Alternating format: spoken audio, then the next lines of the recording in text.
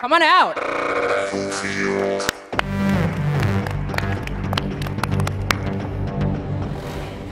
Last week, the world came together for the largest global climate protest in history. People are so frustrated and pretty pissed off. But what can we do?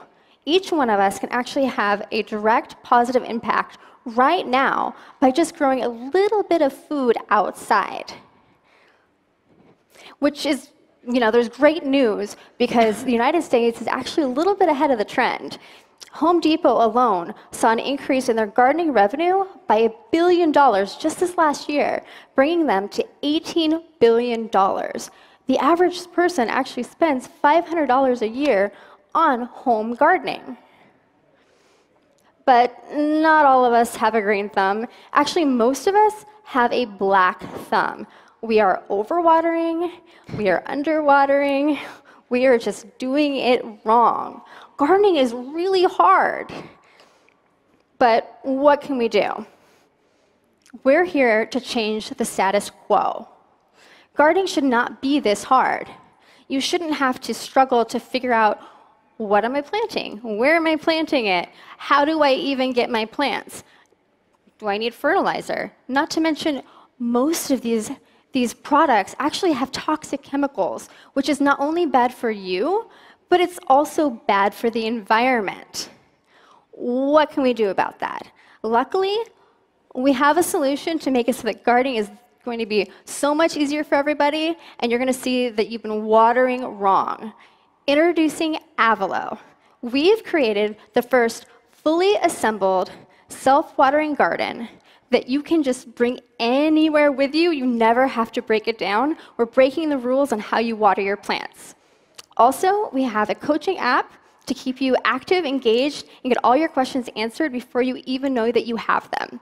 With the planter, we also will include all of the plants for the coaching app, as well as a 10 year warranty with that planter, which is completely unheard of because we have that much confidence that you are going to crush it as a gardener.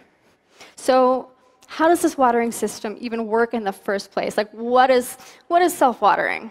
So, self watering, this is sub irrigation. And what we've done is we've created a proprietary piece of hardware, um, specifically in the water reservoir and the proprietary materials we're using to make water transfer immensely efficient. Plants are actually able to use their own natural pressures to signal and draw that water up. So you never ever have to worry that your plants are getting what they need because they've got it covered. They know exactly what they want when they want it. So you can go on a vacation and not worry about it. Because with the reservoir, it's so efficient that you can fill it, take a week vacation, come back, and you're completely fine, which is unheard of. So let's go ahead and actually see this, uh, this mythical garden in action. Can we go to um, demo? the demo, please? so here we've got Jeremy. Jeremy has just ordered and received his Avalow online. It has come fully assembled and with soil, which means he doesn't need any tools. And I know for those of you that live in, I don't know, New York or in a dense city where you don't have access to a hardware store that's super easy or maybe a truck, this is going to make your life that much easier. Also, with this, it has amazing connection points. you can pop in accessories for vertical growing to maximize your space, um, as well as cold frames. So that way, if you're living in Chicago or New York, you can grow year round. Also, with it, what you can't see is that the water reservoir is actually built in underneath.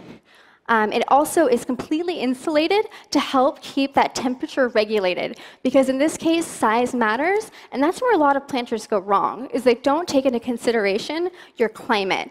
You know, you may be in Louisiana, but it doesn't mean you, you shouldn't be able to grow something. So Jeremy's getting ahead of the game here. He's already started to plant. Um, he's using our coaching subscription, which does include everything. Um, he has curated this box based on his climate, and we've worked with him to make sure that he's geared up for success. So Jeremy actually has a question, and he doesn't know what to do about the watering. This is the first time he's ever done this whole like crazy water reservoir thing. So he's going to go ahead and he's going to connect to the app. So actually, if I can get the cameras to connect to the app as well. He is reaching out to our Grow team to ask a question in real time because what do you do if you have a question, right? It can take forever. You can get lost in the internet, and sometimes you're going to get misinformation, which nobody wants. Because if you're living in California, you know, you may not want to be getting advice from somebody who lives in, let's say, Michigan, when they're not taking into account your, your actual climate. So Jeremy's going ahead and he's asking a question right now to our grow team about how to water.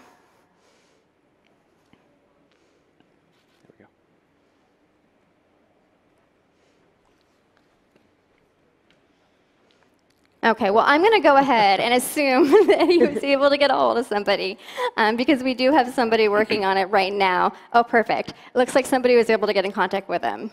Oh, okay. All right. So anyway, so our Grow team is able to help troubleshoot because they can actually see um, you know, where does this person live? When did they, you know, first subscribe? When did they start planting? So that way we can give you accurate information based on your location as well as your season, which is very, very important and typically forgotten when it comes to seeking information from your local retailers or online.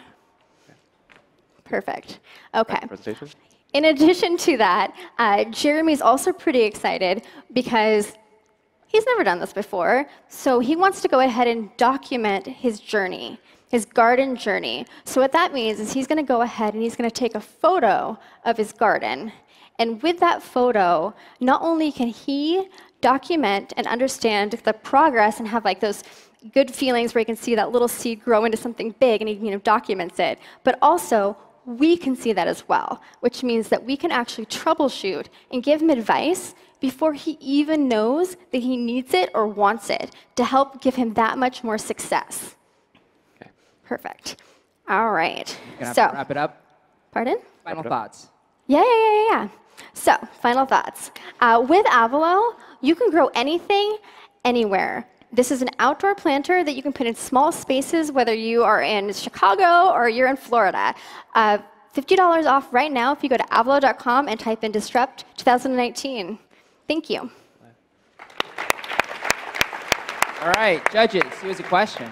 Yeah, um, thanks for being the first one up. um, so I have a question about who your target market is. Um, it's obviously a big market, but the Avalow is $400, and one of the stats in your deck was there's about a $500 average spend mm-hmm. per year on gardening products. So that's almost as much as the Avalow on one product. Um, so how do you think about your early target market and how does that fit into sort of the mass market for gardening? Yeah, absolutely. So our target market, um, based on our pilot, actually, so we have right now currently uh, 400 of these that we've been piloting, getting feedback from.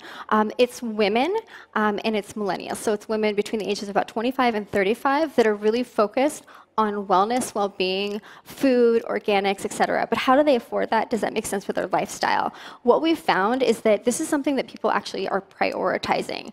So just like someone's paying for a SoulCycle membership or they're paying for um, you know, Pilates or anything else of an added expense. This is something that people actually are yearning for. So instead of maybe putting those extra dollars into their, you know, pre-order food basket or other subscription services, we're actually finding that people are prioritizing and yearning for this because it fulfills multiple needs. So they're getting food, they're getting a learning experience, which people are yearning for.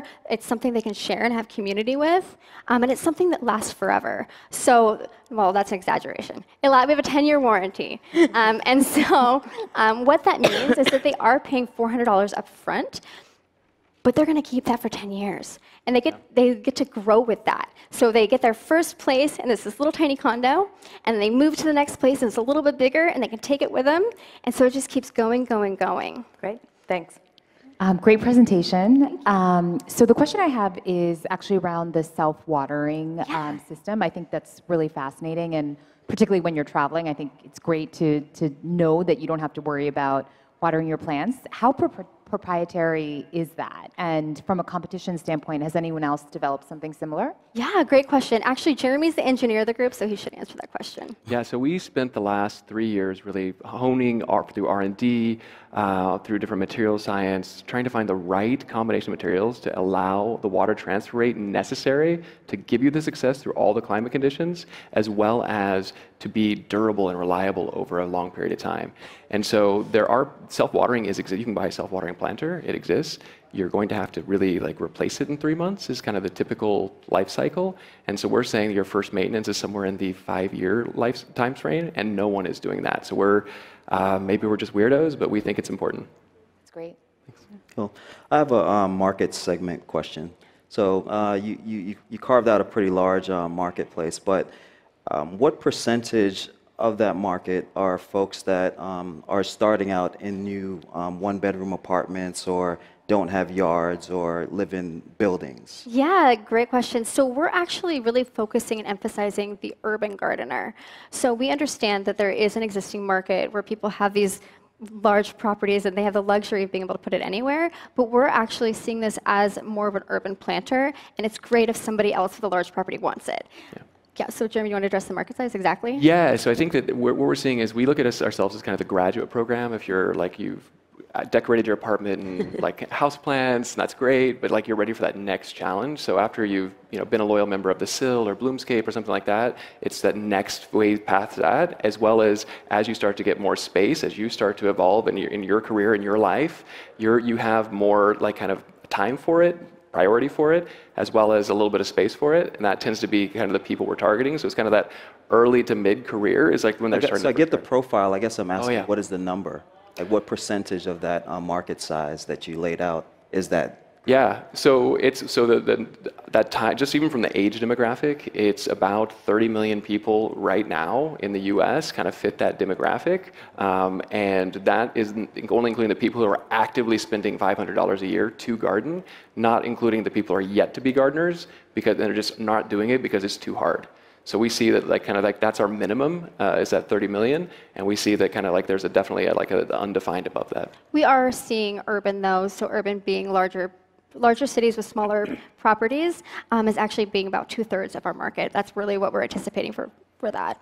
Okay, we have six seconds. I'm going to ask a super question. What's your COGS on the product? Yeah, Jim. Yeah, the COGS is just over. It's like around $180 um, on the on the product itself. There's some uh, you know additional shipping and things that come into it, which give us that 60% final margin. Yep. But yeah, we're able, and we manufacture in house um, because it, it's the right fit for us at this point. But that's something that will change uh, our margin structure. Thank you. All right, give it up for Avalow.